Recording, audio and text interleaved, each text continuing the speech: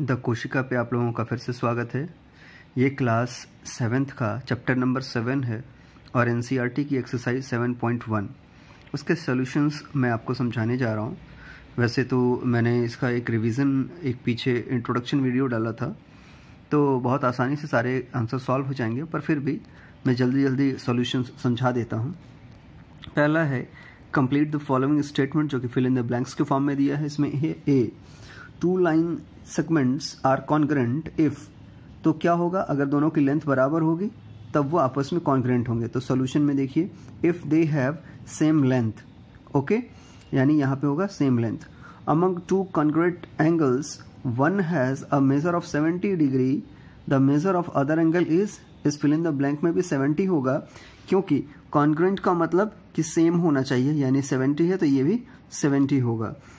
When we write angle A is equal to angle B, we actually mean, हमारा मतलब ये है कि measure of measurement of angle A मतलब वो डिग्री में कितना है? एक डिग्री दो डिग्री तीन डिग्री चार डिग्री पचास, साठ, सत्तर जैसे कि ऊपर वाले में था। तो अगर एंगल ए की वैल्यू सेवेंटी डिग्री है तो एंगल बी की वैल्यू भी कितनी होनी चाहिए? सेवेंटी डिग्री ओके अब क्वेश्चन नंबर टू की बात करते हैं।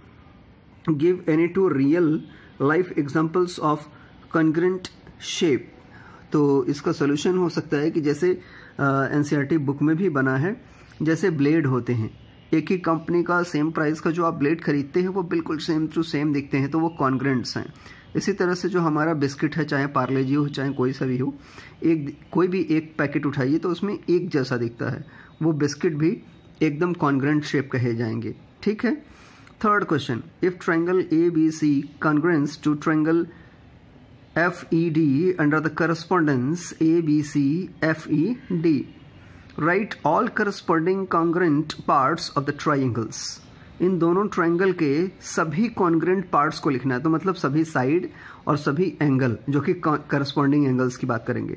सो so, सॉल्यूशन भी ऐसा ही है बिल्कुल same to same all the corresponding congruent parts of triangle A B C and triangle F E T are corresponding angles are equal to each other या एक दूसरे को कंप्लीट करते हैं जैसे एंगल ए अभी इसमें angle A is equal to angle F तो angle A is equal to angle F angle B is equal to angle E angle B is equal to angle E angle C is equal to angle D angle C is equal to angle D इसी तरह से measurement की भी बात करेंगे A B is equal to F E ठीक है side A B is equal to F E side B C is equal to E D okay and side A C is equal to F D या D F अब fourth question की बात करते हैं जो कि इस एक्सरसाइज का लास्ट क्वेश्चन भी है।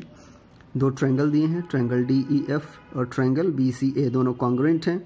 तो ट्रैंगल ए बी सी के बारे में लिखना है write the parts of triangle B C A that corresponds to अब बी सी ए का कौन सा एंगल करस्पॉन्ड करेगा ठीक है?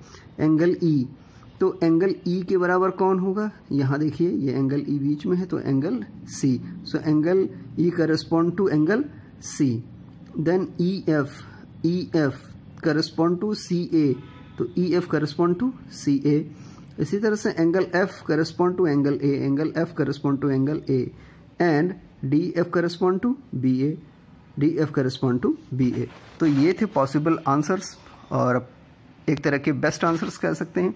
अगर कोई कन्फ्यूज़न हो तो आप कमेंट बॉक्स में पूछ सकते हैं। Thank you